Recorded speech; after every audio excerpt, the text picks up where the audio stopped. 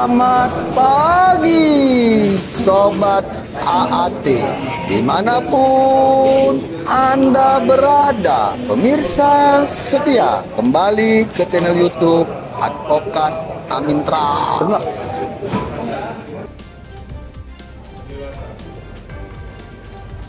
Baik rekan-rekan bawah umur yang ulangi di bawah di belum dewasa di bawah umur yaitu di bawah 17 tahun rekan-rekan sekalian mendasari LP nomor 2648 tanggal 3 Oktober kita telah mendapatkan laporan terkait adanya tindak pidana perampasan perampasan yang disertai dengan senjata tajam terjadi dan kami telah berhasil mengidentifikasi pelakunya.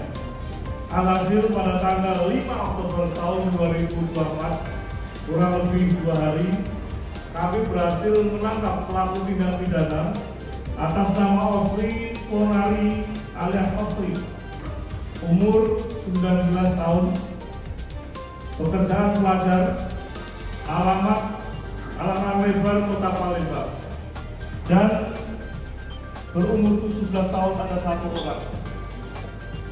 Untuk anak yang berusia 17 tahun adalah inisial NP, kemudian yang kedua anak kedua adalah inisial DS, dan yang ketiga adalah anak yang lagi.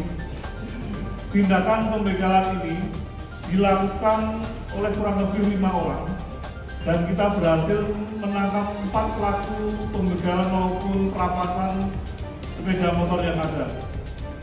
Dari perampasan sepeda motor yang ada, sekali lagi kami masih menyisakan satu orang tersangka yang kita satukan DPO dan segera akan kita lakukan penangkapan.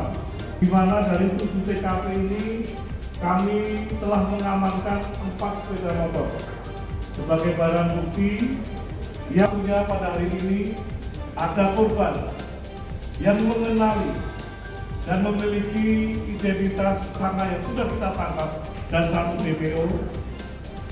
Kami telah melakukan penjeratan tersangka pasal 365 KUH pidana R1 kemudian dengan ancaman yaitu 12 tahun penjara.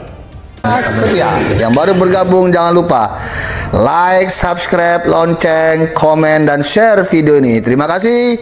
Assalamualaikum warahmatullahi wabarakatuh.